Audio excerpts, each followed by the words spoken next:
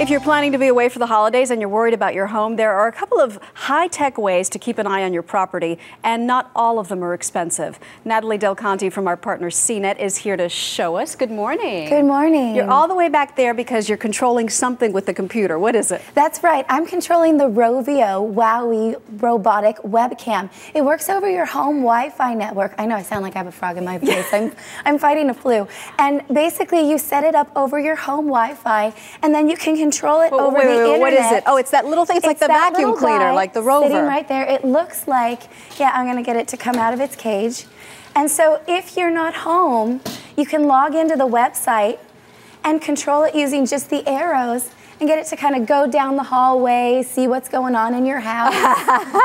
kind of Hey, fun. burglar! Who's that? Bald burglar in my house. You can't get it to call 911 if you see a face like that, unfortunately. Okay, You're so this is in your house, roving, and you're away somewhere controlling it on your computer. Right. I know you That's always pretty ask me how easy is it to set up. This is not the easiest thing to set Okay. up. This is kind of for the eggheads. And It's how a little geeky. Expensive? It's in, in the two or three hundred dollar right. range, but yeah, All right, let's show some cheaper, easier options. Okay. This is a motion detector phone, right? How does that work? Right, so this has cameras and also motion sensor. It detects motion up to 20 feet away, records audio, and if it hears kind of a scuffle or something it thinks is wrong, it's going to call 911. Oh, ah, where's the camera? The camera is in the front here. You can't really see it. So it actually functions as a real phone, though, if you want to just pick it up and have Dual a phone purpose. call. In fact, all of these function for their real purposes, but they also have cameras. Right, all of these things are real things. They're exactly what they look like, but they have cameras inside as well. Alarm you install a memory card, and then you come home and you check the footage. So this is an alarm clock, and in the front here, you can't see,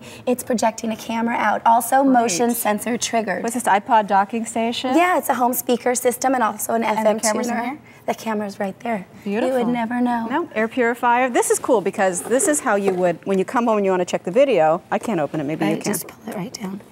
Well, we're wasting We're time. break it. Anyway, this is where you put your memory card and download the, the footage. Right, this is just a little black box. It looks like it could be your router. Anything. Or your cable box. I gotta say, these two look really fake. Like, I'd It be so does. onto these. You got to put this in a shelf with your other Okay. books. But if you're a nanny or whoever it is you're trying to survey wants to look up a word, you're kind of hosed. Yeah. right? 'Cause You're discovered. Okay, now what about if I want to see what's happening in my house in real time? If I don't have the rover, is there another option? There is a service called alarm.com. Mm-hmm. What it does is work with your home surveillance network. So here we have a house in Washington, D.C. that we can see in real time. This is actually what's going on in this house, in the baby's room, in the front porch. So it works with your existing surveillance system.